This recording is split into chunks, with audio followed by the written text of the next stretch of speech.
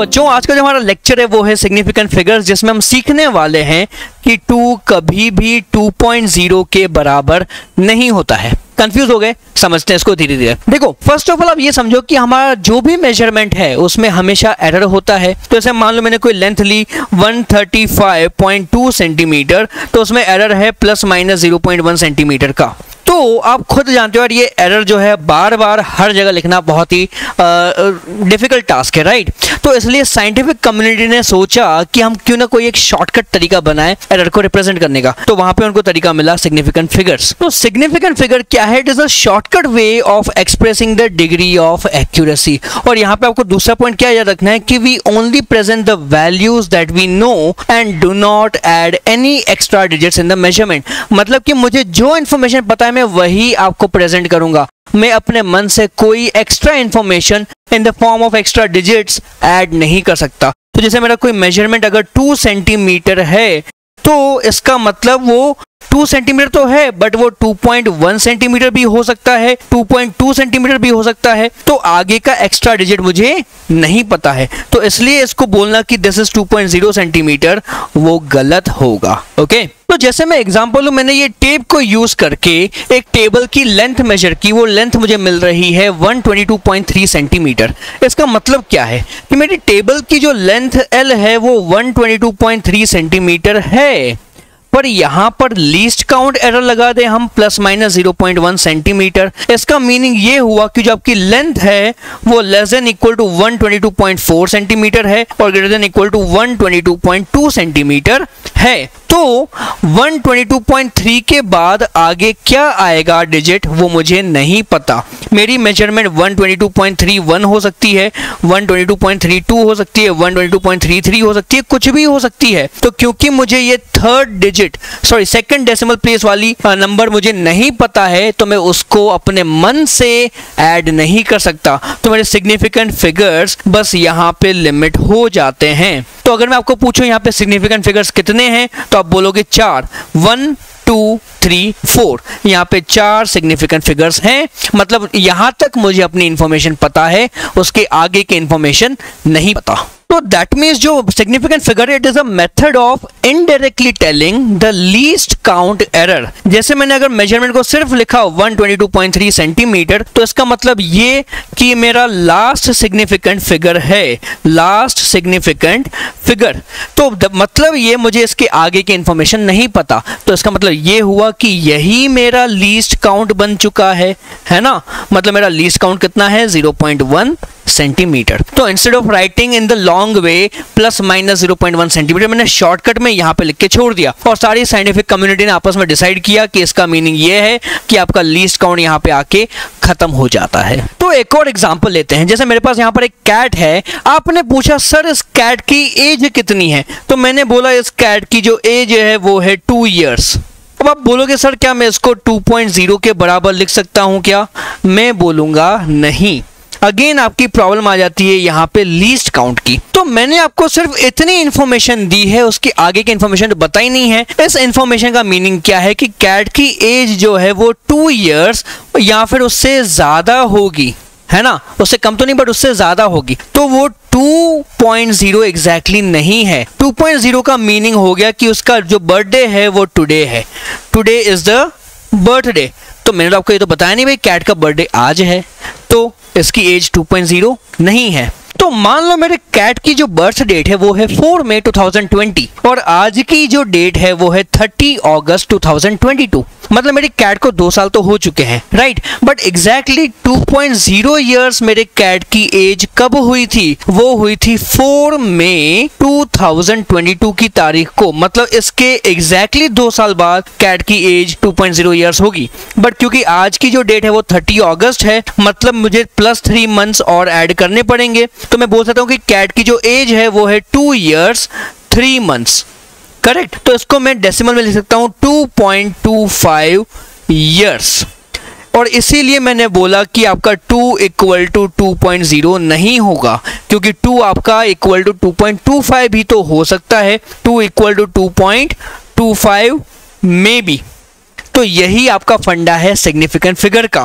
जितनी इंफॉर्मेशन आपको पता है, उतना प्रेजेंट करो, उससे आगे ज़्यादा स्मार्ट बनने की ज़रूरत नहीं है। तो साइंटिफिक कम्युनिटी ने सिग्निफिकेंट फिगर्स के जो रूल्स बना है, अब हम उनको समझते हैं। देखो, कई बुक्स में आपको ना रूल्स काफ़ी लेंदी लंबे कंफ्यूजन वाले सेंटेंस में लिखे होंगे बट उनको आप शॉर्ट में, इन तीन सेंटेंस में समराइज कर सकते हो। यही आपके तीन मेन रूल्स हैं। पहला रूल ये बोलता है कि all leading zeros are significant जैसे मान लो मैंने कोई नंबर लिखा zero zero two zero three तो यहाँ पे लीडिंग जीरोस मतलब क्या, जो स्टार्टिंग के ज़ीरो आते हैं, वो यूजलेस हैं। तो मैं इनको कैंसल आउट कर सकता हूँ।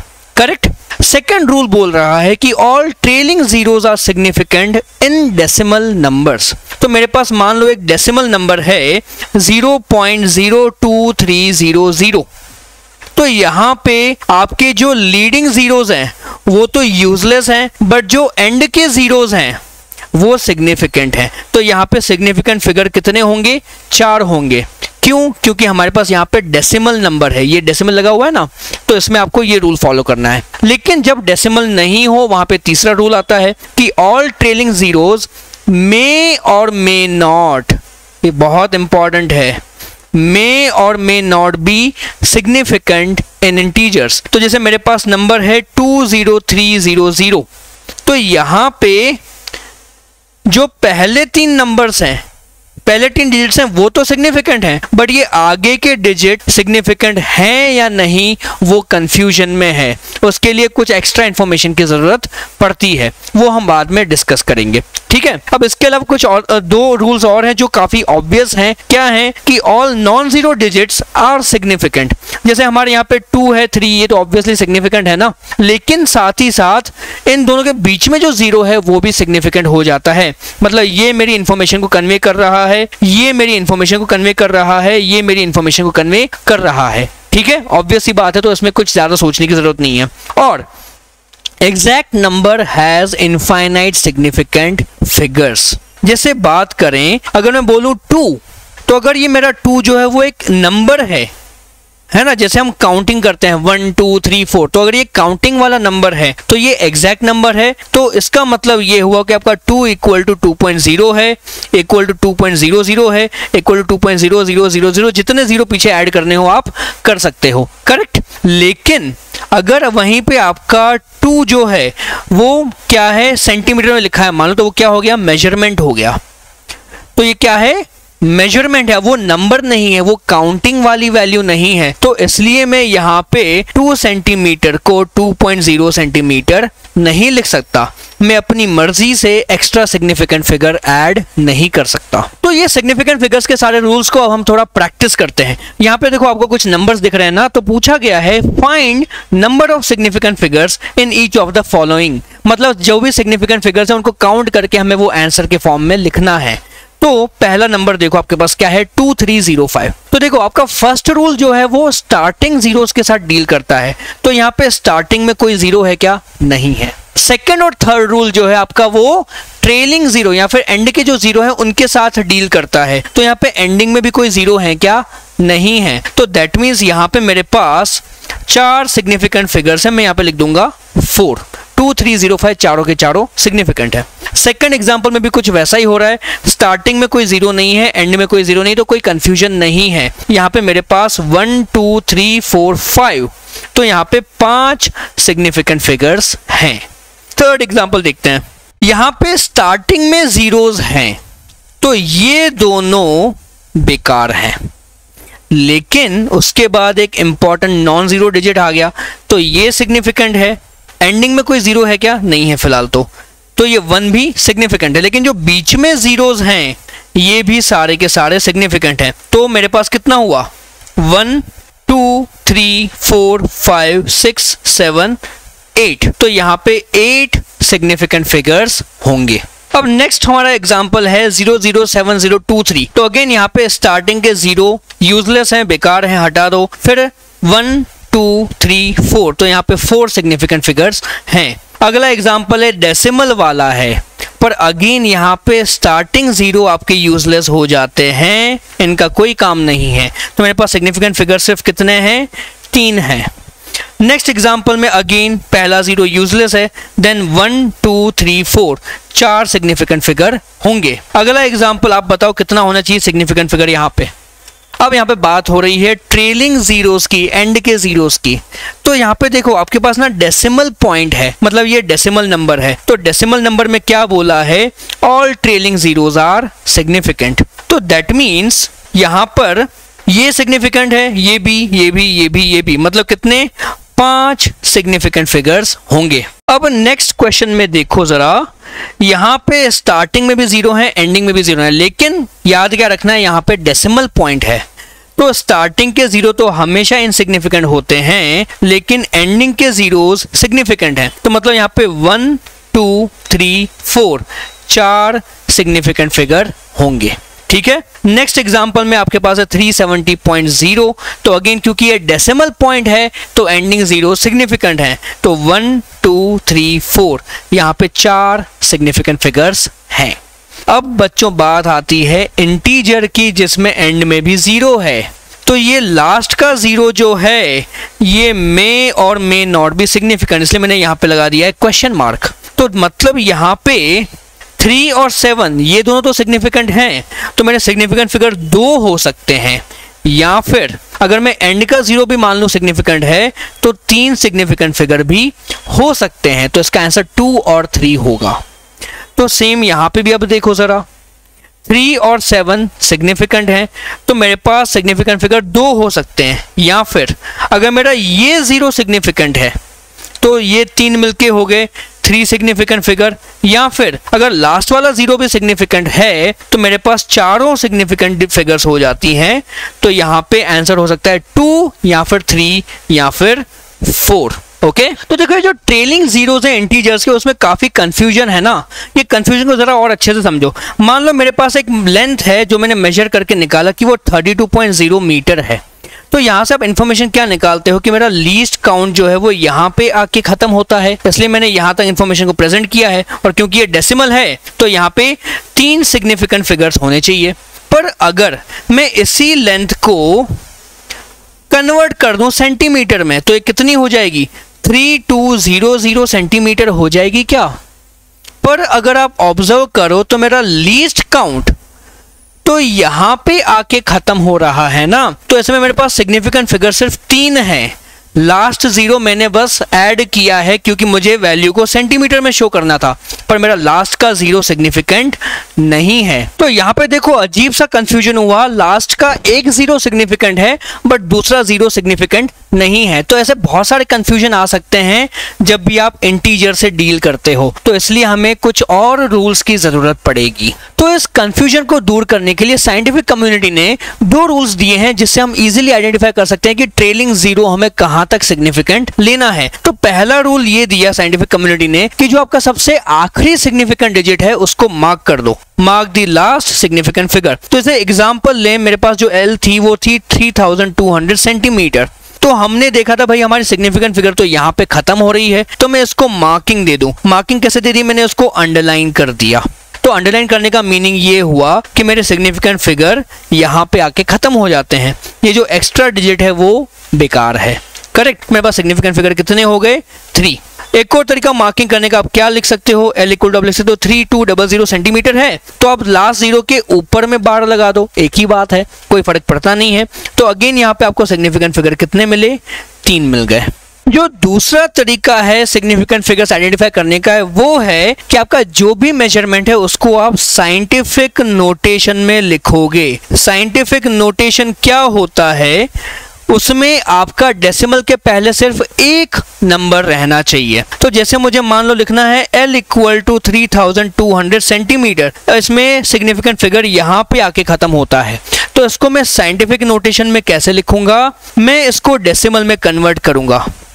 ठीक है? तो डेसिमल में तो हमको पता है कि भाई जो, जो एंडिंग ज़ीरो जो सिग्निफिकेंट होते हैं तो क्योंकि यहाँ पे तीन सिग्निफिकेंट फिगर हैं तो डेसिमल में भी कितने आ गए? तीन सिग्निफिकेंट फिगर आ गए। अब लेकिन आपका 3.2 इज़ नॉट इक्वल टू 3200 तो इसलिए आप यहाँ पे क्या करोगे? Into ten to the power लिख दोगे थ्री सेंटीमीटर समझ में आया? मैंने इसको इस फॉर्म में लिख दिया। मैंने इंटू टेन पावर जो भी सुटेबल नंबर है वो मैंने लगा दिया। तो यहाँ से मुझे क्या पता चल रहा है? मेरे सिग्निफिकेंट फिगर तीन होंगे। एक और एग्जांपल लें, मान लो 3.6500 into ten to the power 10 centimetre है। इसका मीनिंग क्या हुआ? यहाँ पे सिग्निफिकेंट फिगर कितने हैं? एक, दो, तीन, चार, पाँच सिग्निफिकेंट फिगर हैं। तो साइंटिफिक नोटेशन में हम सीधे सीधे हर नंबर को डेसिमल में कन्वर्ट कर दे रहे हैं। और डेसिमल में कन्वर्ट करते ही हमारा रूल नंबर टू लग जाता है कि all trailing zeros are significant तो अगेन कुछ क्वेश्चन ट्राई करना सिग्निफिकेंट फिगर्स के काउंटिंग पे।